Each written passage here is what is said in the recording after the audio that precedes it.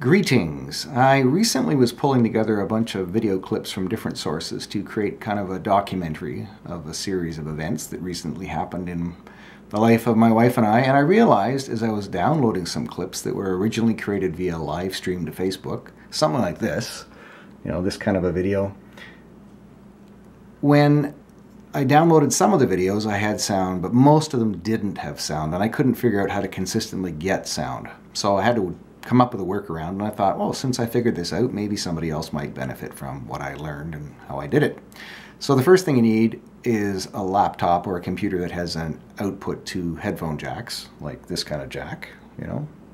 Standard, I guess that's one quarter inch or 2.5 millimeter or whatever it is. Your headphones. So you plug into the headphone out and then you have to have on the other end of that line I'll show you what I've got here. You have to have another headphone in to use a device that I use, this uh, H4n.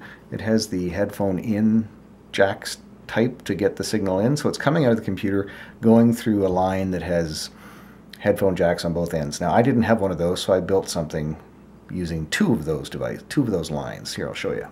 So I've got a headphone line in that goes to the RCA jacks. I have adapters like these to allow me to plug them in and connect to another line that produces essentially headphone jacks on both ends. And I plugged one end in here to the uh, H4n input and I plugged the other one in to my headphone output.